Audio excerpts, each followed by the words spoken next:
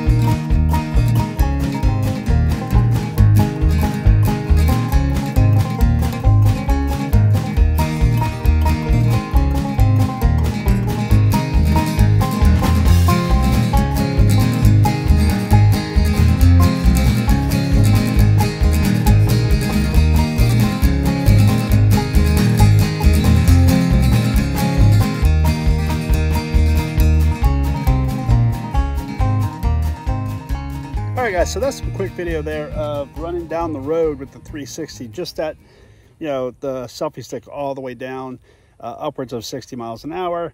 And then out here with it at that length and also using the uh, optional GoPro attachment at its length. Show you what, so you see what those videos are like. So now I'm gonna do some run up here. I'm gonna extend this up a little bit and we'll see how it does with the uh, selfie stick extended up.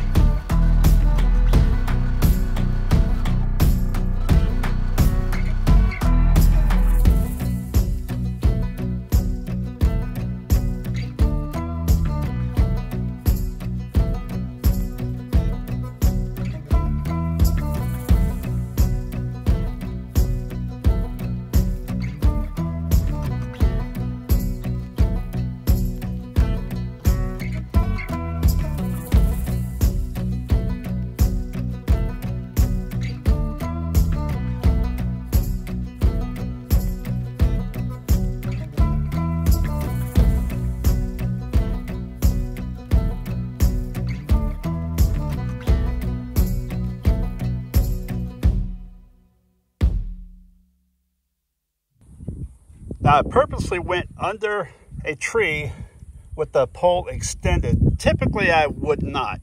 I would have this down about here when I'm running underneath brush or whatever. But I typically, I purposely wanted to run this under because I wanted to test the strength of this mount. As you can see, the mount is intact. In fact, what happened was the selfie stick broke.